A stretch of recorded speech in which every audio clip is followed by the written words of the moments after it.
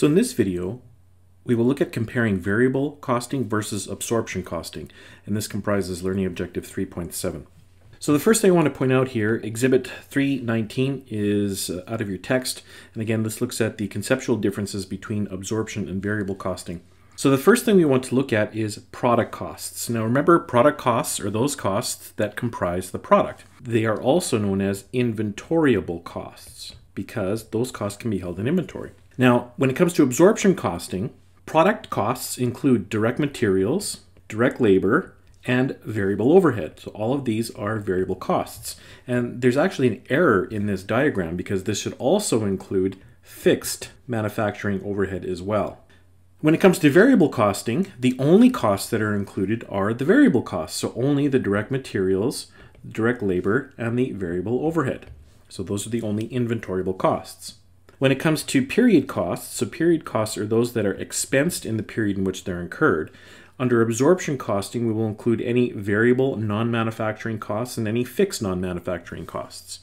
And then when it comes to variable costing, the same variable and fixed non-manufacturing costs are expensed in the period in which they're incurred as with absorption costing, but notice that fixed manufacturing overhead is also expense in the period. So what happens is under variable costing, we don't treat the fixed manufacturing overhead as a product or inventoriable cost. In terms of the focus, absorption costing is used primarily for external reporting, and we use variable costing for internal reporting. The income statement format that's used for absorption costing is the, here they say conventional, but this is the gross profit income statement format. And of course, for variable costing, we use the contribution margin format. So if we look at an example uh, of variable and absorption costing side by side. So again, these taken out of your text, exhibits 20 uh, and 21, we can see that under both variable and absorption costing, the sales are the same, right? Sales, 8,000 units sold at $30, 240,000, no problem. And then we do a calculation for uh, determining the cost of goods sold, as we did in uh, a previous in-class problem that I demonstrated in another video. Uh, remember, to determine the cost of goods sold, we start with beginning inventory. In this case, it's zero in our example, because we want to illustrate what happens when production exceeds sales, and then where sales exceeds production. During the period, the company manufactured 10,000 units at $16 per unit, and that includes fixed and variable cost. We know that the variable cost is 11 and the fixed cost is $5 for a total of 16. So that's $160,000 in cost of goods manufactured. When we add that to the beginning inventory, that gives us cost of goods available for sale. And then we deduct the ending inventory. So in this example, the company had 2,000 left at 16 right? That's full absorption cost. Absorption means that the fixed costs are absorbed into inventory, okay? So that's $32,000. And that gives us cost of goods sold of $128,000. Sales minus cost of goods sold is gross profit. And of course, we would deduct any operating expenses to come up with our operating income. When it comes to variable costing, here we don't have a section called cost of goods sold. We have a section called variable expenses. And we have two sets of variable expenses. One is for the variable cost of goods sold, and then one for any other variable costs. So following the same approach, we start with zero beginning units in inventory. The company manufactured 11,000, so we add the variable cost of goods sold, but notice only the $11. That's the variable portion. So that's 110,000, giving 110,000 available for sale, and then we subtract the 2,000 units in ending inventory at their variable cost of $11. That's 22,000, leaving variable cost of goods sold to be 88,000. In addition here, we take our sales commission of 8,000 units at 250, which was included as an operating expense here. So this is the variable commission of 20,000. And so that gives us total variable costs of 108,000 and sales minus variable costs is contribution margin of 132,000. We then deduct the fixed expenses. So we have the fixed manufacturing overhead here. That's the full 50,000 that was incurred, but because under variable costing, we don't include it as part of the product cost, all 50,000 is expensed. And then the fixed marketing and admin expenses, which is also this one here, the fixed marketing. So total fixed costs are 75,000 and that gives us operating income of 57,000. So what we see here is we have a difference, right? If we look at this 67 and this 57, that's a $10,000 difference. And that's made up of the 2,000 units in inventory times the $5 fixed cost per unit. So that's the amount that's been absorbed into inventory. What this diagram here, Exhibit 22, shows is that if we look at determining the total manufacturing costs for either absorption or variable costing, the total manufacturing costs are actually the same. They consist of the variable cost of $11 times the number produced, that's 110,000, and 50,000 in total manufacturing costs, giving us 160,000 in total manufacturing costs. The variable is the same, right? Under variable costing, the total manufacturing costs are still 100,000, 110,000 variable plus 50 fixed, giving a total of 160,000.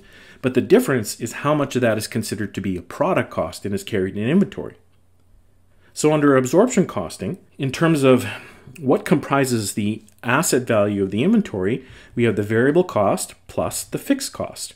And that's that 2,000 units times $5. So giving us 32,000 in ending inventory on the balance sheet as an asset under absorption costing. And that's equivalent to 2,000 times $16. And we saw that in the income statement right here. This is how much is in inventory. And then, of course, the amount that's expensed are the are based on the number of units sold. So 8,000 units sold at the variable cost of 11, and then 8,000 units sold at the unit fixed cost of 5 gets put in there. So the income statement shows 128,000 in cost of goods manufactured. Variable costing, on the other hand, shows the inventory asset only a variable cost of $22,000. And the amount expensed is the same 88,000 is under absorption costing for variable costs, but then the entire 50,000 of fixed costs is also expensed. And so 138,000 in total expense on the income statement. And again, you see that difference between these two is $10,000. And it's also the difference between the ending inventories. 32,000 and 22,000 is the $10,000 difference. So this was a situation where we had operating income with increasing inventory. We started with zero, we produced 10,000 and only sold 8,000, so the inventory went up. But what happens when the inventory goes the other way, when, we, when inventory goes down? So the only way for that to happen is for uh, sales to exceed production. So if we look at absorption costing, the same company this time in the next month, April, uh, sold 12,000 units at $30. And in the cost of goods calculation now, we start with the beginning finished goods inventory from the previous period of $32,000. The cost of goods manufactured, see, in both months, they still produce 10,000 units, so that part doesn't change. And we're using the sales to help us determine whether the inventory goes up or down. So the same cost of goods manufactured, $16 times 10,000 units is still 160, giving 192,000 in cost of goods available. But this time, the company sold 12,000 units. And so that means that there's zero inventory left. So the cost of goods sold then is 192,000, giving gross profit of 168,000, and then we subtract the these are the variable commissions again, and this is the fixed marketing. So all other costs are the same. What we're trying to do is isolate the differences as they relate to changes in inventory. So the operating income here is 113,000. Looking at variable costing, Sales are the same, and we deduct all variable costs. So beginning inventory of 22,000 plus the same cost of goods manufactured, 110,000. That gives you available for sale. And then we subtract the ending inventory of zero, which there is none because they're all gone. And so the variable costing uh, cost of goods sold is 132,000. And then we have 30,000 in sales commissions, giving us contribution margin of 198,000. And then the same fixed costs, the 50,000 in fixed overhead for manufacturing and fixed admin expense of 25, giving operating income of 123,000. And look here, the difference between these two is $10,000. And that is the result of the $10,000 that was sitting in inventory on the balance sheet now gets pushed to the income statement. So in terms of identifying some rules of thumb or things to remember here, these three panels are kind of helpful.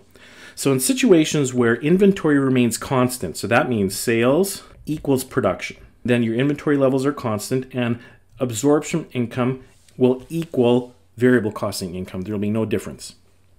However, in situations where the inventory increases, and so this means where the uh, production is greater than sales, then your inventory level increases and therefore absorption costing will be higher. Or conversely, variable costing income will be lower. And then in the third situation where your inventory levels decrease, so this happens where sales exceeds production, then you are pulling. See, in the case where inventory increases, you're absorbing or pulling fixed costs off the income statement into the balance sheet. When your sales exceed production, the piper is now paid. And as the units that were held in inventory with that additional fixed cost are now sold, those costs have to then move from the balance sheet back to the income statement. So the inventory levels decrease, and then now the variable costing income is higher. So I hope that helped in explaining the differences between variable and absorption costing. Uh, in another video, we'll actually go through this uh, in class problem 3.2 uh, over two periods and look at how we can see those changes between the two incomes and reconcile them.